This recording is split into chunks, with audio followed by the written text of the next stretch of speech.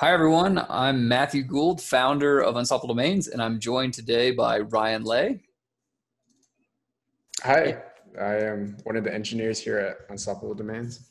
So, we're very excited today because you can now send crypto uh, much more confidently by confirming the Twitter account uh, before uh, sending a payment. And we've done this by connecting with Chainlink and also back on the back end of Twitter. So Ryan's going to show you right now what this looks like on the user side when you have it all set up when you're sending a transaction in a crypto wallet. So Ryan, I'll let you take it.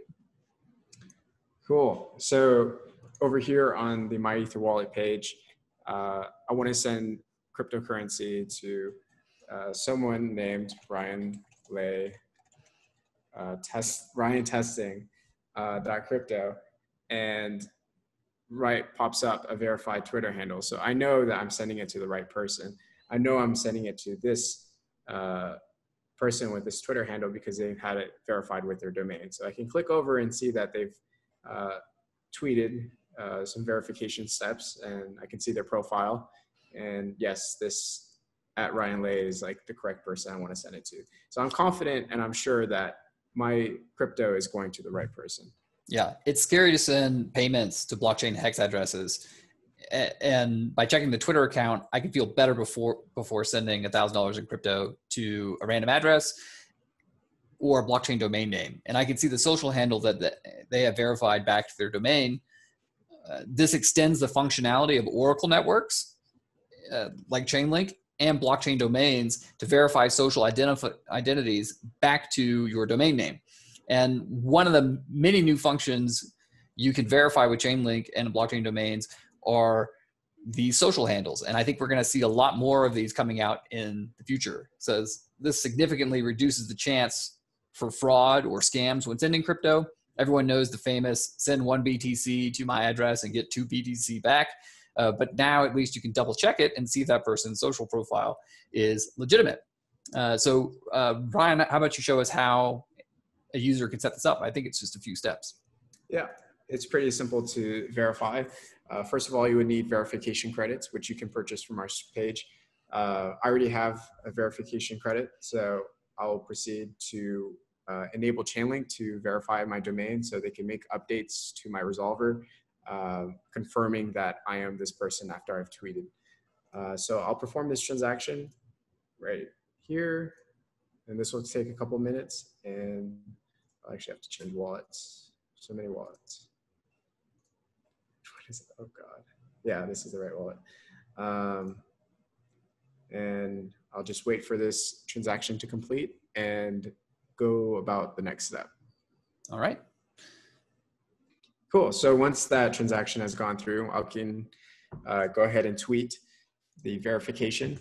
Uh, so here's a tweet right here. It includes the verification code necessary for Chainlink to pick up the tweet and to verify that with your domain name. So I'm gonna tweet that right there and then head back over and click verify tweet.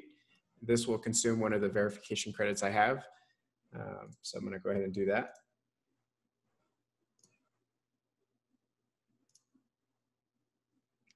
and I assign a couple signatures, uh, and that will be sent over to Chainlink, and Chainlink will uh, connect my tweet with the verification signature of my wallet, and they'll make an update to my domain record. Uh, and we'll let this sit for another couple minutes, and we will back, we'll be back to seeing if the domain is verified. Got it. And uh, for advanced users, if you actually already have Chainlink in your wallet and some Ethereum, you can do this yourself directly with the contract uh, by going to the guest managed section on our site. Uh, and that way you can actually just pay it uh, direct yourself with your own Chainlink credits. All right. So as you guys can see, Chainlink has verified our domain. So we can see confirmation that our Twitter has been linked to our domain name angrybear.crypto. Uh, and if you search for it on our page, you'll also see that it shows up uh, under the search results. Uh, and I can click this over here to double check. Great. All right, guys. Well, uh, that's uh, showing you how you can get it set up. I'm gonna, about to dive in real quick to talk about how it works. I highly suggest reading the blog post. Um, on our medium to to get more details about this. I'm just real quick going to talk about you know, high level um, what's happening behind the screens here, behind the scenes here. So let me pull this up. Ryan, let me know if you can see the screen. Yep. Great, excellent. So there's actually a lot happening behind the scenes here. Um, the high points is to just know that we are abstracting payments, uh, and we're also reducing the number of signatures that you need to uh, send out these transactions. And we're handling the back and forth with Chainlink, and then we're making sure that this actually gets verified by continuing check on it on the back end. So um, at a very high level here. And if you want to get more technical, please take a look at the blog post. But you can see that we're getting the user to sign in order to permission uh, Chainlink to take some actions on their resolver contract on chain. Uh, once Chainlink has that permission set up, you then go and you go ahead and post the tweet so that there's something for Chainlink to go check. Once you know that you have tweet confirmed, you can then tell Chainlink on chain, hey, I, I sent the tweet. You already have permission to go ahead and execute this transaction. And then Chainlink goes out, hits Twitter's API endpoint on the back end, does some checks uh, with uh, Twitter to make sure that it validates. And that's why you'll see that hash inside the um, tweet post that you have. And after it's confirmed that this is this domain name, this signature matches, uh, this tweet matches from the Twitter endpoint, that goes through their Oracle on Chainlink side. It then writes out to the smart contract. And then finally, once it's written on the smart contract, that's what allows uh, wallets like MyEtherWallet and then our front end to check and see that Twitter's verified and then display, yes, indeed, when you're trying to send crypto to this address, this is the social handle associated with this person. And you can click through and, and see what Twitter account that is that uh, confirm that they own that blockchain domain.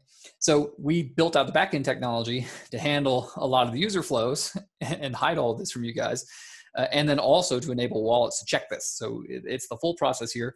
If you have a favorite wallet or app, you can let them know now that they can make sending crypto that much easier with the .crypto domain and Chainlink's Twitter Verify, and we'll definitely work with them to get that implemented. Uh, thanks a lot for checking us out, and we're excited about this new feature. Thanks, guys.